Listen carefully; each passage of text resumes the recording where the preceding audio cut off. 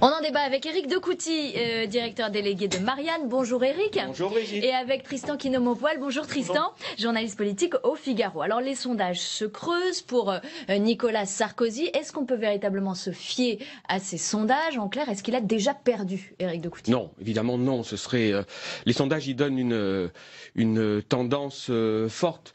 Euh, évidemment à un instant T. Et puis il y a toujours ce, ce, l'échantillon. Est-ce que c'est représentatif Qui va aller voter Tout ça. Bon, donc malgré tout, on voit bien que Nicolas Sarkozy est pas en situation de force.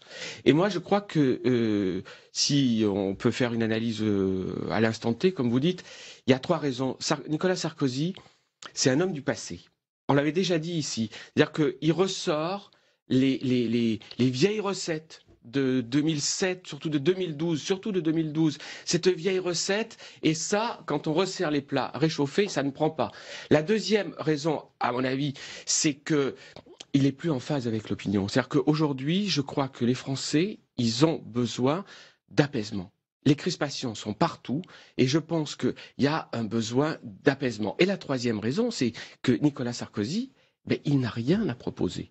C'est aussi la conséquence des deux premières, mais on voit bien qu'il ne propose rien et que ces petites phrases qu'il a senties les Gaulois, etc., qui étaient vides de sens, avaient l'effet contraire. Il a Donc, quand même proposé deux, deux référendums Enfin, des référendums dont, dont il, il, il, le dit plus maintenant. On sait bien que les polémiques, on ne sait pas pourquoi. Enfin, tout ça, même juridiquement, ça pose des problèmes. Donc, sur le fond, il n'y a pas de programme, si ce n'est celui ancien, celui de Patrick Buisson, pour faire court. Donc, ça ne marche pas. Et donc, on verra bien ce que ça donnera. Donc, pour vous, il est en grande difficulté, en tout cas, dans cette course à, à la primaire. Oui. Euh, Tristan, est-ce que pour vous, il peut encore gagner la primaire? Oui, euh, rien n'est fait pour l'instant, mais il y a eu deux stratégies entre Alain Juppé et Nicolas Sarkozy. C'est un peu euh, la, la, tortue, enfin le lièvre et la tortue. Euh, Lorsqu'il s'est présenté, Nicolas Sarkozy a mis toutes ses cartes dans le jeu. Il a présenté tous ses soutiens, il a organisé comme ça le ralliement d'un certain nombre de personnes. Il a sorti un livre où il y avait toutes ces nouvelles propositions. On peut penser que ce sont des propositions réchauffées, mais en l'occurrence, il y avait toutes ces propositions. Il n'a pas séquencé sa campagne, à l'inverse d'Alain Juppé, qui a sorti plusieurs livres thématiques permettant d'occuper l'espace médiatique pendant plusieurs euh, semaines euh, et euh, même au niveau des soutiens. Alain Juppé, il y a une dizaine de jours, a commencé à organiser des petits cailloux comme ça qu'il a semés, des soutiens les uns après les autres, tandis que Nicolas Sarkozy n'a plus grand monde a présenté lorsque l'UDI a officialisé son soutien à Alain Juppé avec plusieurs centaines de cadres nationaux de ce parti. Euh, Nicolas Sarkozy a, a, appelé François Sauvadet pour Donc lui dire. Donc c'est plus une histoire de, de, de communication mais, finalement eh oui, oui. Euh, que, que, de fond pour. Il a du mal à occuper l'espace. Il avait annoncé, je crois que c'est Claude Guéant ou peut-être Nicolas Sarkozy avait dit vous allez voir ce que vous allez voir en septembre. Ça va être le blast, ça va tout dévaster. Et les courbes ça, ne se sont jamais inversées. Ça a eu, ça a duré 30 secondes. Mm. Il y a eu un, un épiphénomène médiatique, mais... un épiphénomène médiatique. Ouais. C'est resté là. Ça ne prend pas. Et je pense que Nicolas Sarkozy, il a été pendant longtemps, il faut bien lui, lui reconnaître ça. Vous savez que je n'ai pas une, une sympathie politique débordante pour euh, là, mais que les téléspectateurs se sont peut-être rendus compte. mais que euh, aujourd'hui, il n'est plus en phase. Il est, il est. Mais pourtant, dans le cœur des Républicains, bah, il est devant Bah, Alain Juppé. C'est ce qui permet de dire qu'il peut peut-être encore gagner, parce que Mm. toute la question, c'est la mobilisation. C'est le corps électoral. Qui, il faut savoir, euh, le jour du qui du va vote, venir voter Mm. Est-ce que euh, les soutiens d'Alain Juppé euh, vont accepter de faire 20 km en voiture pour aller glisser un bulletin pour Alain Juppé, sachant que même s'il est haut dans les sondages, ce n'est pas quelqu'un qui galvanise les foules, c'est pas quelqu'un qui arrive comme ça à, remplir des salles gigantesques. C'est quand même des, des meetings beaucoup plus posés que ceux de Nicolas Sarkozy. Donc il y a cette question de l'élan. Euh, le jour non, J. Et puis euh, le fait que Nicolas Sarkozy soit peut-être un peu en retrait maintenant, on, on dit que sa campagne patine. Peut-être que certains euh, qui voulaient aller voter pour Alain Juppé en opposition à Nicolas Sarkozy vont se dire bah, finalement c'est plus la peine. Tous les il sondages a, disent qu'il a gagné, on voilà, on va pas Mais ça, ça c'est pas, Euh, pas faux. Il faut attendre. Il y a deux meetings hein, aujourd'hui. Nicolas Sarkozy à Marseille, Alain Juppé finalement à Toulon alors qu'il devait être à Marseille. Euh, Qu'est-ce que ça, ça, signifie finalement il, il, se marque un peu à la culotte euh, les deux. Est-ce qu'il y a un peu de fébrilité de la part d'Alain Juppé de se dire bah, je vais peut-être moins remplir de salles, donc finalement je vais à Toulon plutôt qu'à Marseille, ou tout simplement un changement de, de... Je ne sens pas la fébrilité chez Alain Juppé. Peut-être que ça, pour rejoindre ce que disait Tristan, peut-être qu'il ne faut pas qu'il y ait d'excès de confiance parce que les choses ne sont jamais. Là, on fait des commentaires sur des tendances et on verra bien ce que ça donnera le jour du vote. Mais je ne pense pas qu'il y a de fébrilité. On en la voit la fébrilité. Il y a souvent beaucoup de, on la voit la fébrilité chez les sarkozystes. On la voit, on la voit partout parce que vous parliez des, des, des soutiens. les soutiens, ils sont plutôt ces dernières semaines passés du côté D'Alain Juppé. C'est-à-dire que les soutiens de Nicolas. Sarkozy, on les compte aujourd'hui. D'où l'intérêt du meeting de Toulon d'ailleurs, Euh, puisque le meeting de chez Hubert Marseille, Falco. voilà, euh, exactement. Euh, Alain Juppé devait aller à Marseille. Finalement, Nicolas Sarkozy y va et en réponse euh, Ouais. à cela, il va donc euh, effectivement voir Hubert Falco qui, euh, qui l'a rejoint. C'est un pied de nez à, à Nicolas Sarkozy. C'est c'est pour pour montrer qu'il a euh, la dynamique avec lui. Euh, Alain Juppé qui sera aussi euh, sur la dalle d'Argenteuil, qui s'est rendu euh, dans les Hauts-de-Seine, hein, qui est le fief de, de Nicolas Sarkozy. Euh, il, il se, il cherche il y a quand même un peu dans la campagne d'Alain Juppé. On a dit beaucoup, et, et nous aussi.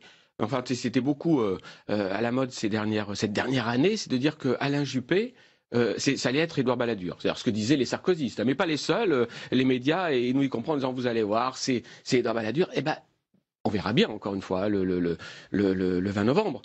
Mais euh, pour l'instant, cette campagne-là, qui est une campagne très en retrait, c'est-à-dire que Alain Juppé joue, contrairement à ce qu'on pensait, plus Nicolas Sarkozy parle, et plus Alain Juppé se tait, et plus il en profite. Mhm. Mais malgré tout, sa campagne, on en, on en tirera les conclusions le moment venu, mais elle n'est pas si mauvaise que ça. Et c'est une campagne qui finalement est un effet de surprise et qui, pour l'instant, donne l'impression de prendre. Donc moi, euh, j'ai plutôt l'impression que Alain Juppé fait une campagne de terrain, médiatique, discrète et assez efficace, y compris dans les- surtout dans l'électorat, évidemment, de, de, de droite. Un mot de, de François Fillon, requinqué par euh, le premier débat de la primaire. Il se voit, lui, au second tour. Est-ce que ça vous paraît possible que François Fillon passe devant Nicolas Sarkozy?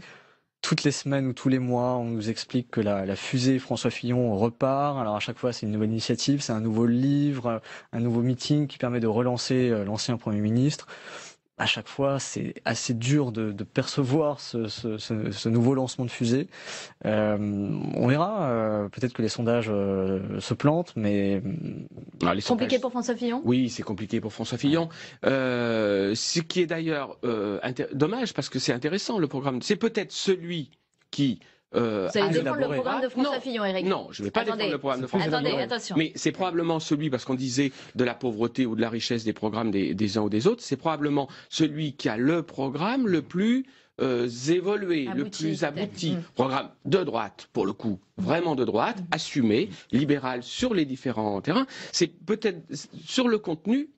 Et moi, je serai en désaccord pour l'essentiel, mais celui qui a le programme de tous les candidats, le plus réfléchi, le plus abouti, le plus construit. Il y a une séquence à, à observer, c'est le soutien de Valérie Pécresse et de Xavier Bertrand. Ça va arriver. A- euh, C'est vrai que c'est- ce sont deux poids lourds que l'on Si attend. Valérie Pécresse ne soutient pas François Fillon, ça sera quand même un, Non, mais un il faut- gros désaveu pour, euh, pour lui, parce qu'elle était proche. euh, Ce serait Euh, franchement euh, un coup de Trafalgar considérable que François Fillon, que la prédiction de François Fillon se réalise et qu'il Mm. soit, qu'il soit au deuxième tour. Parce que même si les sondages, on est tous bien d'accord qu'il faut leur accorder une valeur relative, malgré tout là, ce serait, euh, ce serait une surprise euh, Ah, Il y a une tentative des sarkozystes dans le JDD euh, ce dimanche, une tribune euh, en gros anti-Bayrou.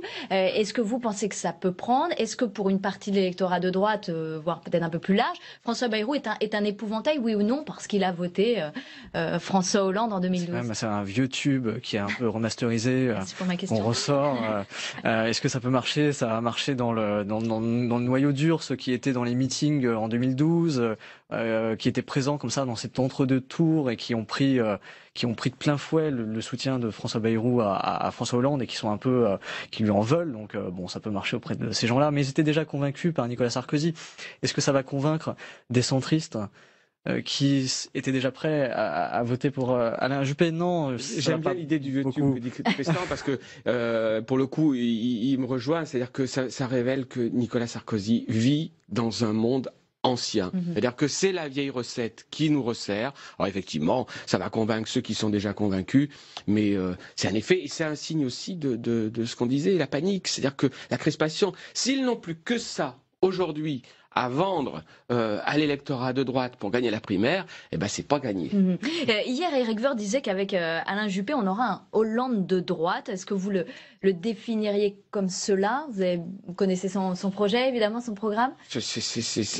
Alain Juppé est un homme de droite. Et ça, pour les électeurs de gauche, dont certains disent qu'ils vont aller voter Juppé. On le sait bien. Une forte adhésion quand même de, c'est de un homme de électeurs de, droite. gauche à Non, mais Juppé, les hein. électeurs de gauche ont publié cette semaine dans Marianne une enquête sur cet électorat. Les gens de gauche qui disent, c'est à voir à ceux qui vont aller voter, mais les gens de gauche, ils vont voter pas par adhésion à Alain Juppé, ils vont voter parce qu'ils ne veulent pas de Nicolas Sarkozy. C'est un point commun entre François clair. Hollande et Alain Juppé, c'est qu'ils arrivent à, à éventuellement gagner une élection, on verra pour Alain Juppé, mais en réaction, enfin par opposition à leurs euh, rivaux. Euh, Oui, mais c'est le principe global de, de, de notre système Il n'y institutionnel. a pas hein. beaucoup de passion ou d'élan. euh, Il y, a, euh, il y a eu un rejet, oui, là c'est Hmm. fort, et je pense que dans tous les cas, si Nicolas Sarkozy, si Alain Juppé gagne, ce sera d'abord, y compris à droite, par un rejet extrêmement fort, extrêmement puissant, qu'on a vu depuis longtemps, et je suis surpris que Nicolas Sarkozy ne l'ait pas mesuré, le rejet de sa personne et de sa politique ancienne. Merci Eric de Couty d'avoir été avec nous euh, ce matin, directeur délégué de Marianne. Et merci Tristan Kinomopoulos, journaliste politique euh, au Figaro. Vous restez encore quelques instants euh, avec moi. On va parler économie et